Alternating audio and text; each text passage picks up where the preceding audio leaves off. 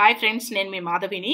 ఈరోజు నేను మీకు హోటల్ స్టైల్లో గోంగూర పచ్చడి తయారీ విధానాన్ని చూపిస్తానండి. మొన్న ఈ మధ్య నెల్లూరు వెళ్ళినప్పుడు ఒక హోటల్లో టేస్ట్ చేశానండి. బిర్యానీ తెప్పించుకున్నాం మేము. ఆ బిర్యానీలోకి సైడ్ డిష్గా ఇచ్చారు ఈ గోంగూర పచ్చడిని. ఆ బిర్యానీలో ఈ గోంగూర పచ్చడి వేసుకొని తింటే అబ్బా ఎంత బాగుందంటే టేస్ట్ సూపర్ అనిపించింది. వెంటనే వాళ్ళని అడిగి తెలుసుకున్నాను ఎలా చేశారు అని. ఇప్పుడు ఆ రెసిపీని మీతో షేర్ చేసుకుంటాను. మీరు ఇంట్లో ట్రై చేయండి. బిర్యానీలోకే కాకుండా రైస్లో కూడా చాలా టేస్టీగా ఉంటుంది.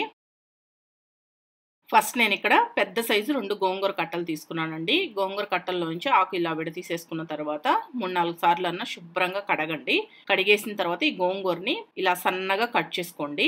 మొత్తం ఇలా సన్నగా కట్ చేసుకొని పక్కన పెట్టుకోండి. ఈ గోంగూర పచ్చళ్ళలోకి ఒక పొడి తయారు చేసుకోవాలండి. ఆ పొడి కోసం స్టవ్ పైన ఇలా పాన్ పెట్టుకొని దీంట్లో పావు టీ స్పూన్ మెంతులు ఒక టీ స్పూన్ జీలకర్ర one and half teaspoon ధనియాలు ఒక టీ స్పూన్ మిరియాలు రెండు ఎండుమిరపకాయలు రెండు లేదా మూడు రెమ్మల కరివేపాకు వేసుకొని ఫ్లేమ్ని సిమ్లో పెట్టుకొని అన్ని దోరగా వేగేటట్టు వేయించుకోండి. మామూలుగా గోంగూర పచ్చళ్ళలో మనం మిరియాలు వేయం కదా కానీ వాళ్ళు మిరియాలు వేసుకోమని చెప్పారు. చాలా రుచిగా ఉంది. ఇంటికొచ్చి కూడా నేను ట్రై చేశాను ఈ పచ్చడిని. మీరు కూడా మిరియాలు స్కిప్ చేయమాకండి. కంపల్సరీ వేసుకోండి. బాగుంటుంది టేస్ట్. చూడండి ఈ విధంగా దోరగా వేగిన తర్వాత స్టవ్ ఆఫ్ చేసేసి వీటిలన్నింటినీ మిక్సీ జార్లో వేసుకుని వేసుకొని ఇలా మెత్తటి పౌడర్ లాగా చేసుకొని ఏదైనా గిన్నెలోకి తీసుకొని పక్కన పెట్టుకోండి.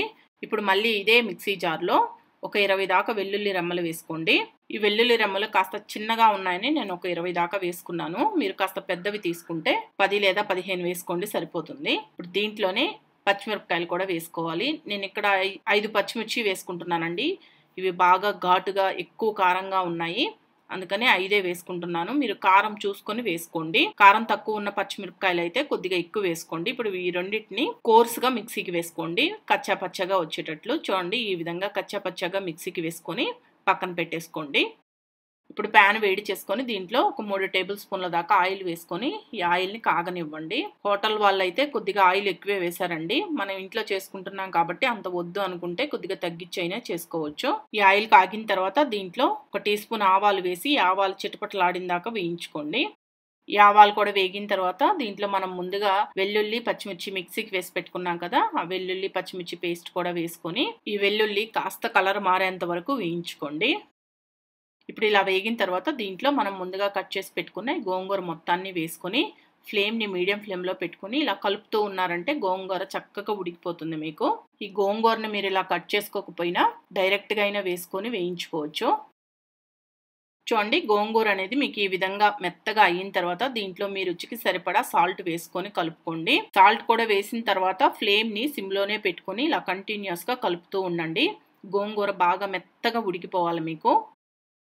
ఇప్పుడు చూడండి ఒక రెండు నిమిషాలు ఇలా కంటిన్యూస్గా కలుపుతూ ఉన్నారంటే ఇలా మెత్తగా అవుతుంది.